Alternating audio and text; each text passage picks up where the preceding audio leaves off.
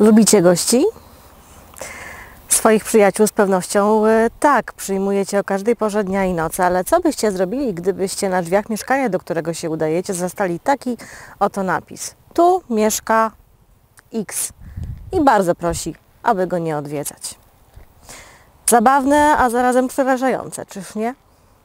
A właśnie taki napis widniał podobno na drzwiach mieszkania bohatera mojego dzisiejszego odcinka, Stanisława Wyspiańskiego. Zapraszam.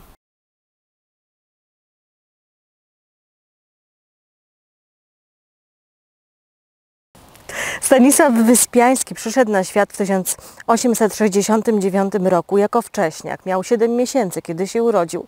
Nie było mu również dane cieszyć się opieką rodziców. Matka niebawem zmarła, a ojca uznano za niezdolnego do opieki nad chłopcem. Dlatego też zajęło się nim wujostwo.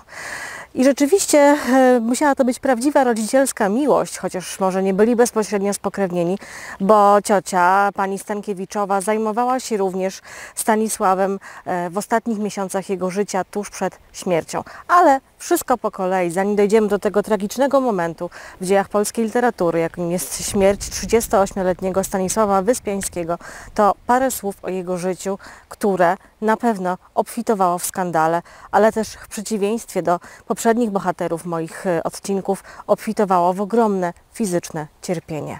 Stanisław Wyspiański jest dzisiaj głównie znany maturzystom e, z tego, że jest autorem Wesela, lektury znajdującej się w spisie lektur obowiązkowych przed maturą ale czy jedynie mm, dramaturgia stanowiła treść jego artystycznego i zawodowego życia?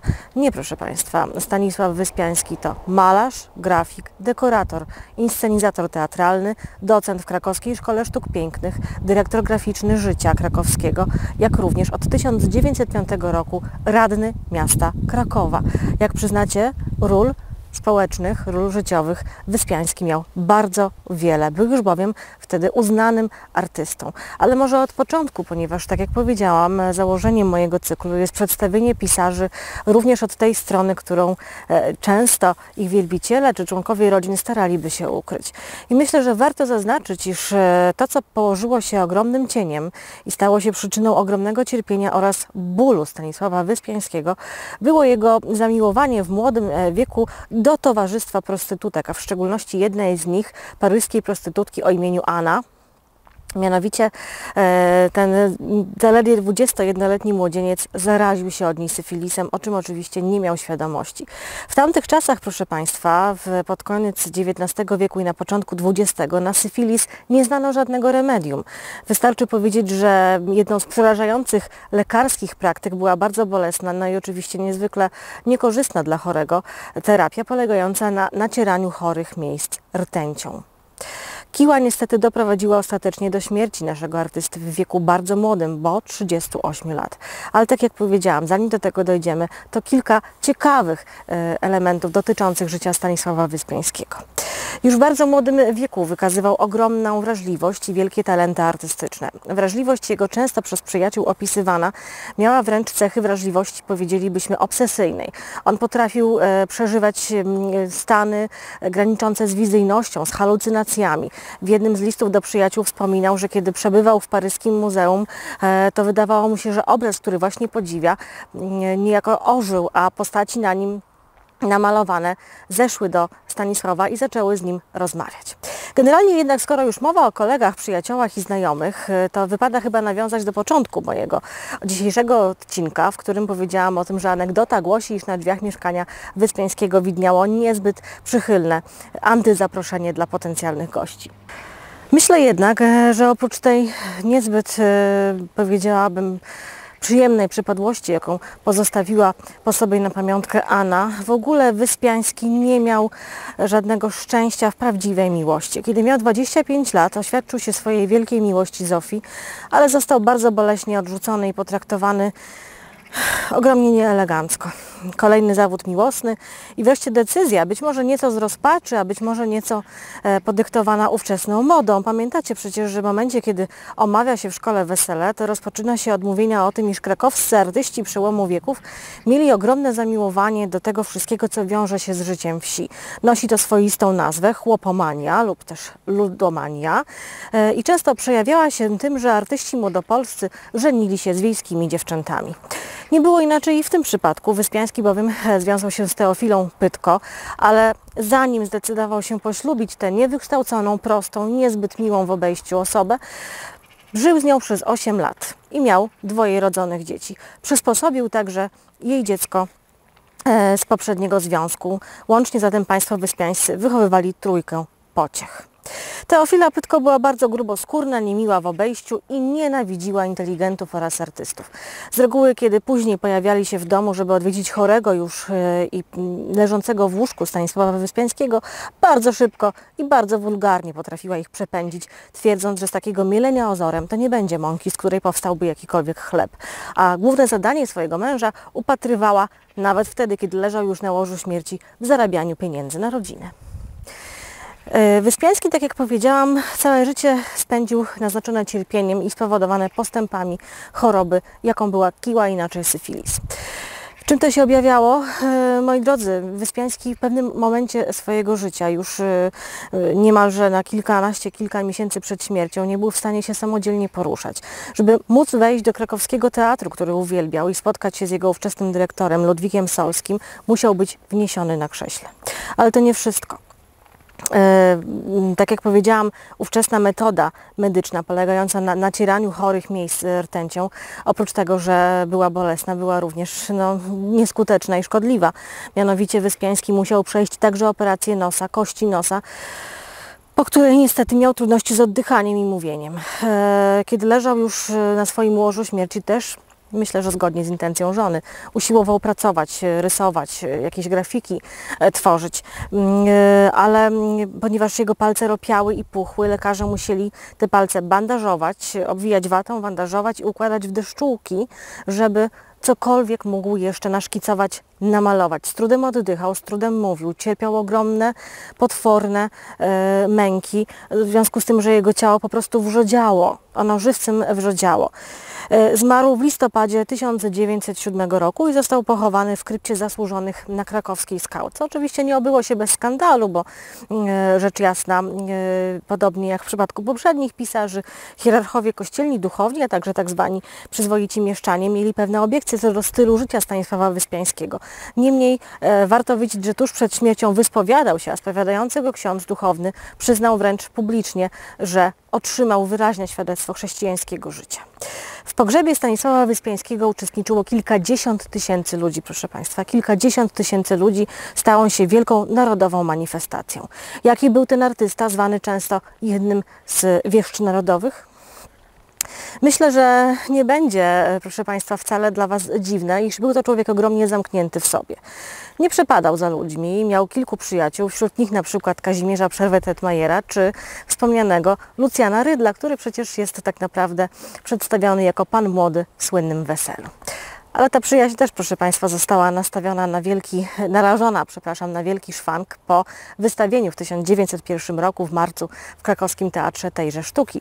Nie wiem, czy wiecie, że sam Wyspiański nalegał, ażeby w sztuce tej pojawiali się ludzie pod swoimi prawdziwymi nazwiskami. Jedynie dyrekcja teatru, biorąc pod uwagę względy obyczajowe, e, namówiła Wyspiańskiego na zamianę tego pomysłu na nazwanie postaci w jakiś sposób e, zupełnie inny. No niemniej są to tak charakterystyczne fantastyczne, e, przyznacie, nazwy bohaterów, że bardzo łatwo się domyślić, a już całkowicie rozszyfrował tę enigmę Tadeusz Bojżelański w słynnej plotce o weselu. E, również warto zaznaczyć, że po tym krakowskim przedstawieniu, które z początku widzom wydawało się zupełnie niezrozumiałe i część z nich opuściła w trakcie premiery teatr, po tym właśnie przedstawieniu e, gospodarz, gospodyni, pan młody, a także przyjaciele krakowscy inni naszego Stanisława Wyspiańskiego najzwyczajniej w świecie na nie niego się obrazili. Wyspiański od momentu zarażenia się e, kiłą, e, mimo że miewał remisję i czuł się całkiem nieźle, myślał, że będzie w stanie żyć jak normalny mężczyzna, normalny, zdrowy człowiek. Ostatecznie w ostatnich latach swojego życia wiedział, że śmierć po prostu depcze mu po piętach. Starał się więc bardzo intensywnie pracować, e, ponieważ wyobrażał sobie, co mogłoby się stać z jego żoną Teofilą, a także trójką dzieci, jeżeli niczego im po sobie nie pozostawi. I rzeczywiście, tak jak wspomniałam na początku, pełnił bardzo wiele funkcji zawodowych. E, również malował portrety na zamówienie. Ale tutaj taka mała anegdota. Czasami zdarzało się, że model niekoniecznie e, przypadł do gustu artyście. Jedna z anegdot głosi, że bogata krakowska mieszczka wyszła zniesmaczona i oczywiście powiesiła mnóstwo psów na artyście, ponieważ przyjrzawszy się jej fizjonomii, Wyspiański powiedział, że raczej nie nadaje się ona na obiekt portretu.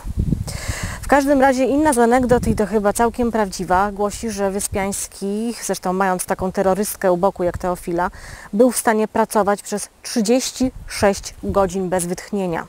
Zamykał się w pracowni i tak naprawdę przestawał istnieć dla świata, a świat przestawał istnieć dla niego. Tak jak powiedziałam, Teofila była przekonana, że jej mąż musi przede wszystkim zapracować na rodzinę i dzieci. Dlatego też liczni przyjaciele Wyspiańskiego w listach czy wspomnieniach często podkreślają, że Teofila potrafiła ich pogonić w czasie wizyty ścierą albo miotłą. Przerażeni krakowscy artyści uciekali e, czym prędzej, mówiąc e, o pani Wyspiańskiej wiele niepochlebnych uwag. Był jednak pewien wyjątek i to wyjątek, który przedstawiłam Wam trzy odcinki temu, mianowicie nie kto inny jak Władysław Stanisław Reymont, który przecież jak mało kto znał się na polskiej wsi. Może właśnie dlatego zaimponował e, pani Teofili, często wymieniali uwagi o charakterze e, prowadzenia gospodarstwa, a również z tego co przeczytałam, e, Reymont dał jej receptę na to, jak przetrwać w oborze e, najbardziej mroźne i chłodne zimowe poranki, e, mianowicie wdziewając e, stosowne spodnie czy też majtki, które oczywiście były uszyte z futra. Teofila więc nie pogardzała towarzystwem pana Reymonta, ale pozostali młodopolscy pisarze, poeci i malarze nie mieli za bardzo czego szukać w domu Wyspiańskich.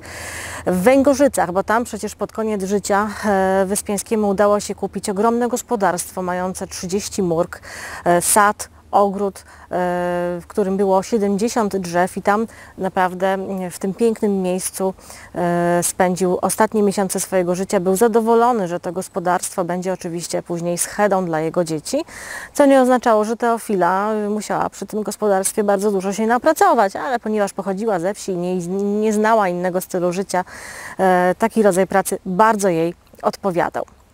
Myślę również, że warto zaznaczyć, iż Teofila nie trwała długo w stanie wdowieńskim po śmierci swojego męża Stanisława Wyspiańskiego i bardzo szybko wydała się za niezmiernie uczynnego i przyjemnego sąsiada z Węgorzyc.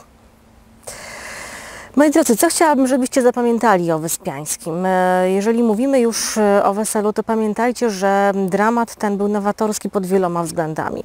Nowatorski dlatego, że po raz pierwszy łączył w sobie trzy różne dziedziny sztuk literaturę piękną, malarstwa, a także muzykę.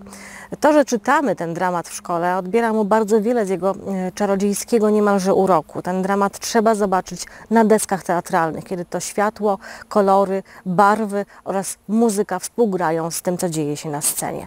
Warto zaznaczyć, że Wyspiański jako bardzo utalentowany artysta, zresztą podkreśliłam to już wcześniej, docent krakowskiej Szkoły Sztuk Pięknych, dbał o każdy detal i rekwizyt w swoich przedstawieniach. Pełnił przecież zresztą w teatrze funkcję dekoratora. Wszystko miało znaczenie, proszę Państwa. To, czy światło będzie w danym momencie blado-niebieskie czy ciemne, to również należało do niego. Był człowiekiem, którego marzeniem było zbudowanie prawdziwego, opartego na antycznych wzorcach teatru u stóp Wawelu. Teatr był ukochanym miejscem, w którym chciał przebywać i jeszcze nawet chwili, kiedy był już całkowicie sparaliżowany przez syfilis i kiedy trzeba go było nosić, chciał ten teatr odwiedzać, mimo że nie mógł już chodzić o własnych siłach.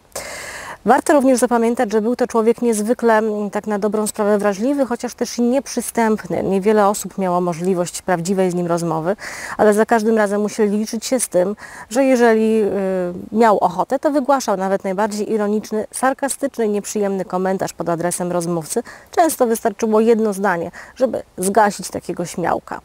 Wyspiański za ludźmi teoretycznie nie przepadał, e, natomiast no, do grona jego przyjaciół zaliczali się koledzy szkolni ze szkolnej ławy. I tak jak wspomniałam na początku, ostatnie chwile życia opiekowała się nim, e, w ostatnich chwilach życia opiekowała się nim jego ciocia, która dbała o to, żeby jadł kleiki, przemielone wędliny. No nic dziwnego, on tak naprawdę, e, jego twarz wręcz zmieniła się okropnie, on potwornie schudł, był cieniem człowieka. Dbała o wszystko, żeby zapewnić mu e, ten czas agonii, żeby był jak najmniej pozbawiony jak najbardziej pozbawiony bólu, jak najmniej dla niego uciążliwy. I tak jak powiedziałam, Wyspiański zmarł patrzony świętymi sakramentami w listopadzie 1907 roku. Jego największym marzeniem było ujrzeć wolną Polskę. Nie zdziwicie się zresztą, bo gdybyście poznali większość dramatów Wyspiańskiego, wiedzielibyście, że temat wolności, temat niepodległej ojczyzny jest głównym tematem wielu jego wyśmienitych sztuk, wielu jego dzieł, e, które mają wręcz uniwersalny, niezwykły i ponadepokowy charakter. Ale tej upragnionej wolności nie było mu dane dożyć.